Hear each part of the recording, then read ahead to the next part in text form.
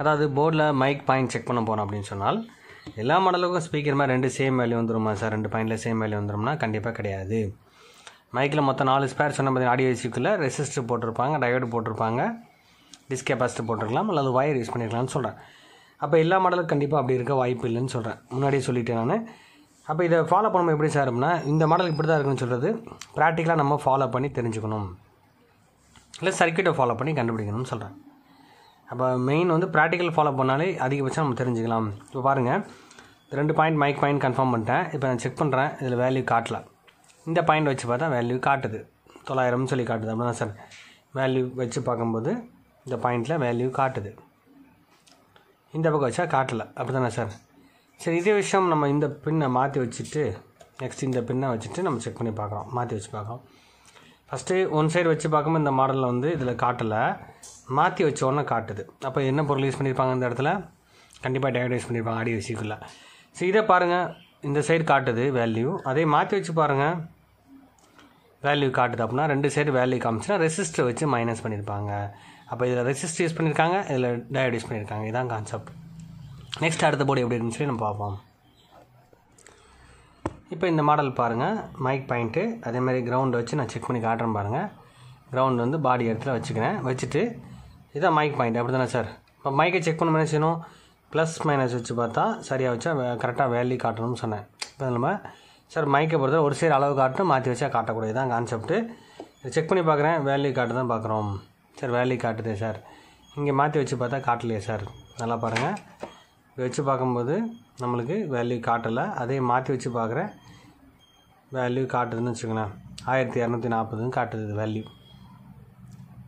ஓம்ஸோட value ஆயிரத்தி இரநூறுக்கு மேலே இருக்குது வேல்யூ இருக்குது மாற்றி வச்சா காட்டலை. ஓகே தானே சார் இல்லை மைக்கில் பெரும்பாலும் அந்த ப்ளஸ் மைனஸ் எழுதியிருப்பாங்க சர்க்கியூட் போர்டில் எழுதியிருப்பாங்க. சார் இது எல்லாமே இருந்தாலுமே எழுதாமல் இருந்தால் என்ன சார் பண்ணுறது அப்படின்னா சார் நீங்கள் வந்து டேரெக்டாக மைக்கை பற்ற வச்சுருங்க ப்ளஸ் மைனஸ் கான்செப்ட் படி நீங்கள் பண்ணிடுங்க சார் மைக் அடித்தவொன்னே சுத்தமாக கேட்கல அப்படின்னு சொன்னால் கூட நீங்கள் மாற்றி வச்சு அடித்து செக் பண்ணி பார்க்கலாம். அது மட்டும் இல்லை வந்து நம்ம சர்க்கியூட்டை ஃபாலோ பண்ணி கண்டுபிடிக்கலாம். சர்க்கியூட் இருந்தால் என்ன தெளிவாக கண்டு கண்டுபிடிச்சலாம்னு சொல்கிறேன் தெரிஞ்ச வரைக்கும் கண்டிப்பாக அதிகபட்சம் ப்ளஸ் மைனஸ் கொடுத்துருப்பாங்க எழுதியிருப்பாங்க. அதை வச்சு ஹண்ட்ரட் பர்சன்ட் கண்டுபிடிச்சலாம். ஸோ அது மட்டும் இல்லை சார் இப்போ நம்ம அதோட தொடர்பு கண்டுபிடிச்சி அதோட வேல்யூ கான்செப்ட் தெளிவாக தெரிஞ்சுக்கணும்னு சொல்கிறேன் அதுக்கு தான் மெயினாக சொல்லித்தரேன். ப்ளஸ் மைனஸ் பெரும்பாலும் எழுதியிருப்பாங்க. இப்போ பாருங்கள் இதான் மைனஸ் கான்செப்ட் கிரவுண்டு இப்போ பாடியில் அதிகமான லைன் வந்து மைனஸ் மைனஸ் வந்து ஜாஸ்தியாக இருக்கும் எல்லா பக்கம் இருக்கும். மைனஸ் வச்சு நம்ம செக் பண்ணி பார்க்குறோம் வேல்யூ வருது இல்லைச்சு இதில் வந்து இந்த இடத்துல ப்ளஸ் மைனஸ் போட்டிருக்கேன் sir minus to minus sound வந்துருமா சார் கண்டிப்பாக அப்படி சொல்ல வரல சார் இது வந்து வரக்கூடிய சிக்னல் அதாவது காமன் மைனஸாக இருந்துச்சுன்னா இது மைனஸாக இருந்தால் சவுண்ட் வந்துடும் அப்படி தான்? பொதுவான மைனஸாக இருந்துச்சுன்னா. இது பொதுவான மைனஸாக இல்லை. அப்படி தானே சார் வேல்யூ வந்துட்டு போயிடுச்சு இந்த பாயிண்டில் செக் பண்ணி பார்க்குறீங்க. வேல்யூ எதுவுமே காட்டல. நெக்ஸ்ட் என்ன பண்ணுவோம் அந்த பின்னை மாற்றி வச்சுட்டு நெக்ஸ்ட்டு செக் பண்ணி பார்க்குறீங்க. சார் இதில் வந்து வேல்யூ காட்டு வந்துட்டு போயிடுச்சு இதுலேயும். இங்கே செக் பண்ணுறீங்க இதுலேயும் வந்துட்டு போதே சார் ரியாக்ஷன் அதாவது ஸ்டடியாக நில் நிற்கவே இல்லையா சார் வேலை நிற்கணும் சார் கொஞ்சம் நேரம் வெயிட் பண்ணி பாருங்கள் நிற்கதான் பார்க்கணும் நிற்கணும் நிற்காமல் டப்புன்னு போயிடுச்சுனாலே கண்டிப்பாக இது ரெண்டு கடையில் ஏதோ spare capacity disc capacity use பண்ணி க்ரௌண்ட் பண்ணியிருப்பாங்கன்னு சொல்ல வரேன். சரி இது உறுதி எப்படி சார் கண்டுபிடிக்கணும் அப்படின்னு சொன்னால் நம்ம இதை தொடர்பு தேடி கண்டுபிடிக்கணும். கணினி ஃபாலோ பண்ணணும். அப்படி தானே சார் இதை நெக்ஸ்ட்டு பார்ப்போம். அடுத்து நெக்ஸ்ட் இன்னொரு போர்டை பார்த்துட்டு அடுத்து நெக்ஸ்ட் நம்ம வந்து ப்ராக்டிக்கலாக மீட்டரை செக் பண்ணி பார்த்துட்டு அதோட கணினுடைய தொடர்பு எங்கேன்னு கன்ஃபார்ம் பண்ணுவோம்.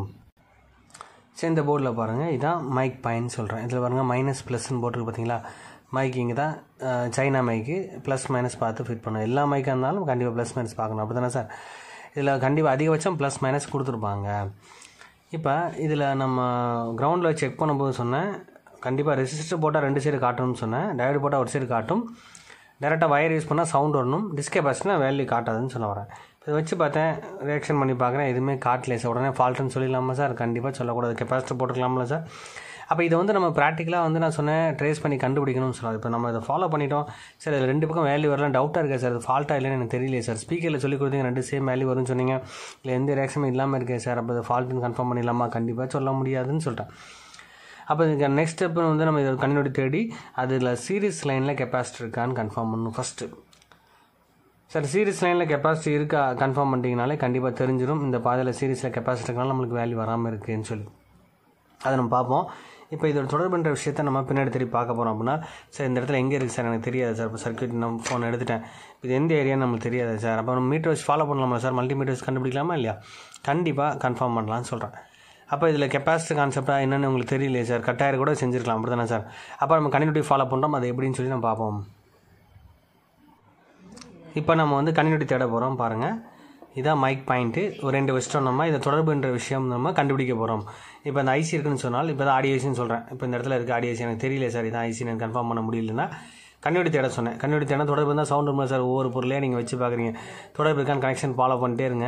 தொடர்புக்கு லைனில் மட்டும் தான் சவுண்ட் வரும். அப்படி தான் சார் சவுண்ட் வருதான் செக் பண்ணி பார்த்துட்டே இருங்க.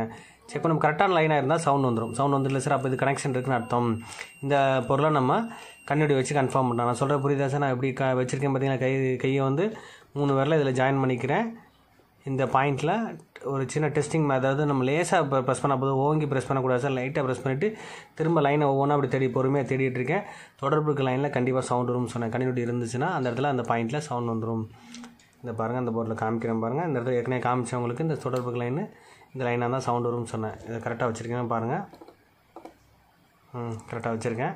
திரும்ப வச்சுட்டு நம்ம வந்து தேடி காட்டுறேன் பாருங்கள் லைனாக இருந்தால் சவுண்ட் வந்துடும் தொடர்பு இருக்குது அப்போ இந்த பொருளை நம்ம கண்டுபிடிச்சேன்.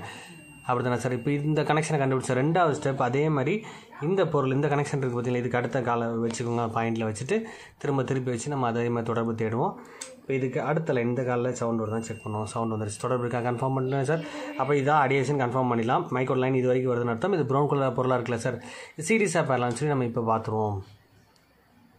இப்போ பாருங்கள் அதை கண்ணாடி தேடணும் பார்த்தீங்களா தொடர்பு பார்த்த பொருள் இந்த ரெண்டு பொருளை தான் நம்ம பார்த்தோம். இந்த ரெண்டு கடையில் இந்த இந்த ஸ்பேர் கெப்பாசிட்டிக்கு பார்த்தீங்கன்னா ரெண்டு லைன் வந்து ட்ராக் போகிறது தெரியுது பாருங்கள் நான் ஜூம் பண்ணி தெளிவாக காட்டுறேன் உங்களுக்கு.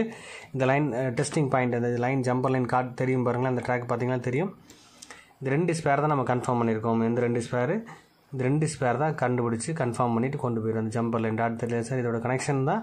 நம்ம அங்கேருந்து ட்ராக் வழியாக கன்ஃபார்ம் பண்ணதான் இந்த ட்ரா இந்த ஸ்பேரு இந்த ஸ்பேரோட தொடர்பு வந்து இங்கே போய் ஐசிக்குள்ளே போய் ஜாயின் ஆகும்னு சொல்ல வரேன் இப்போ இதை நம்ம சீரியஸ் ஆப் எல்லாம் கன்ஃபார்ம் பண்ணணும் அப்படின்னா கிரவுண்டில் செக் பண்ணால் கண்டுபிடிச்சலாம் அப்படி தானே சார்? இப்போ ரெண்டு கடையில் அந்த இடத்துல செக் பண்ணி பார்க்க போகிறேன் இல்லை வேல்யூ காட்டுதான்னு மட்டும் ஃபாலோ பண்ணுங்கள் இப்போ நான் வந்து கிரவுண்டு பாடி இடத்த வந்து இதில் வச்சுக்கிறேன். கிரவுண்டு வந்து இதில் மீட்டரில் ஒரு ரெண்டு வந்து பாடி இடத்துல வச்சிட்டேன். இன்னும் ரெண்டு நான் செக் பண்ணி பார்க்குறேன் பாருங்கள் இந்த பாயிண்ட்டோட பொருளோட தொடர்பு கண்டுபிடிச்ச ஆப்போசிட் கார்டில் இங்கே செக் பண்ணி பார்க்குறோம். வேல்யூ காட்டுது. அப்படி தானே சார்? இதில் வேல்யூ காட்டுது. இந்த பக்கம் செக் பண்ணுறோம் அதேமாரி வேல்யூ காட்டுது. அப்புறம் க்ளியர் கிளியர் பண்ணி காட்டுறேன் பாருங்கள் உங்களுக்கு. அதாவது பொருளை கண்டுபிடிச்சிட்டோம். தொடர்பு பார்த்தாச்சு. ஆப்போசிட் வேல்யூ பார்க்கும்போது சார் வேல்யூ காட்டுது எழுநூற்றி ஐம்பதுன்னு காட்டுது. இதே நெக்ஸ்ட் இந்த பொருளை செக் பண்ணால் அதுவும் அதே மாதிரி எழுநூற்றி நாற்பத்தெட்டு ஐம்பதுன்ற விஷயம் காட்டுது. ரெண்டுமே உள்ளுக்குள்ளே என்ன செஞ்சுருக்காங்க? ரெஜிஸ்டர் போட்டு தான் கிரௌண்ட் பண்ணியிருக்காங்க அப்படி தானே சார் அந்த கிரவுண்ட் பண்ணுற கான்செப்ட் நீங்கள் வரும்போதே டிஸ்கேபாசிட்டி சீரியஸாக போட்டிருந்தாலும் நம்மளுக்கு வேல்யூ வராமல் போகும். புரியுதா சார் உங்களுக்கு? இப்போ இந்த டிஸ்கேபாஸ் ரெண்டுமே ஃபால்ட் ஆகிடுச்சு சார். ஓப்பன் ஆகிட்டுனா கூட கண்டுபிடிக்க முடியாது சார். எப்படி சார் பார்க்குறது இப்போ நான் இதுக்கிடையில் ஜம்ப் அடிச்சு கொடுத்து பார்க்கலாம் சார். வேல்யூ வருதில்ல சார். இங்கே ஆப்போசிட் வேல்யூ வரல ஜம்ப் அடிச்சு கொடுத்தாலும் ஓகே சார் சில மைக் எடுத்துரும். ஆனால் சில மைக் எடுக்க வாய்ப்பு கம்மி. சுத்தமாக எடுக்காது இறையும் அந்த மாதிரி கான்செப்ட் இருக்கும். வேல்யூம் ரொம்ப லோவாக இருக்கும் மைக்கு சுத்தமாக கேட்காது. அப்போ என்ன செய்யணும் சார் இந்த இடத்துல ஜம்ப் அடிக்கிறோட இந்த கெப்பாசிட்டை மாற்றணும்னு சொன்னேன். அப்போ ரெண்டு கெப்பாசிட்டரை சரி எந்த மைக் எந்த கெப்பாசிட்டை எடுத்து வைக்கணும் அப்படின்னு சொன்னால் நீங்கள் வேறு எந்த ஃபோன்லேருந்து எடுத்தாலும் சரி மைக்கோட பாதையில் இருக்கக்கூடிய கான்செப்ட் மைக்கில் இருக்கும் பார்த்தீங்களா அதில் சீரியஸாக இருக்கும் பார்த்தீங்களா பேரில் எடுக்கக்கூடாது சீரியஸ் லைனில் இருக்கக்கூடிய கெப்பாசிட்டர் அது எந்த மாடல் மைக்காக இருந்தாலும் சரி. எந்த மாடல் சர்க்கியூட்டாக இருந்தாலும் சரி. மைக்கில் சீரிஸ் வர பாயிண்டில் மைக் பாயிண்டில் அந்த சீரிஸ் லைன் கூடிய பொருள் ரெண்டு இருந்துச்சுன்னா அந்த ரெண்டு பொருளை எடுத்து ஃபிட் பண்ணலாம். அது நாலு காலம் இருந்த பொருளாலும் பிரச்சனை இல்லைன்னு சொன்னது சீரிஸ் லைனாக இருக்கணும். பேரல் என்ன கூடிய பொருளை எடுக்க வைக்கக்கூடாதுன்னு சொன்னேன். ஏன்னா பேரல் வந்து ஃபில்டர் பண்ணுறதுக்காக யூஸ் பண்ணாங்க அதோட வேல்யூ பிஎஃப் மாறும்னு சொல்லுறேன் அப்போ அந்த சீரிஸ் பாதையில் வரக்கூடிய பொருளை எடுத்து நம்ம ஃபிட் பண்ணி இந்த சர்க்கியூட்டை கம்ப்ளீட் பண்ணி ரெடி பண்ணலாம்னு சொல்கிறேன் இப்போ இது சில சில மாடல் மைக் ஐசி இருக்கும் சில மாடல் மைக் ஐசி இல்லாமல் டேரெக்டாக ஐடிஎஸ்சிக்கு போய் சேரும்னு சொல்ல வரேன். அப்போ கெப்பாசிட்டரை ஃபாலோ பண்ணும்போது வேல்யூ வராத காரணம் தொடர்பு கண்டுபிடிச்சி ஆப்போசிட் வேல்யூ வந்துருச்சு இது ப்ரௌன் கலரில் தான் சீரீஸில் ஜாயின் ஆயிருக்குன்னா கெப்பாசிட்டர் போட்டு தான் சீரீஸில் கொண்டு போயிருக்காங்க. அது மட்டும் இல்லை இதோட ரெசிஸ்டர் போட்டு கடைசியாக கொண்டு போவாங்க. கொண்டு போகும்போது ஐசிக்குள்ளே டிஸ்கெப்பாசிட்டி போட்டாலும் வேல்யூ வராது.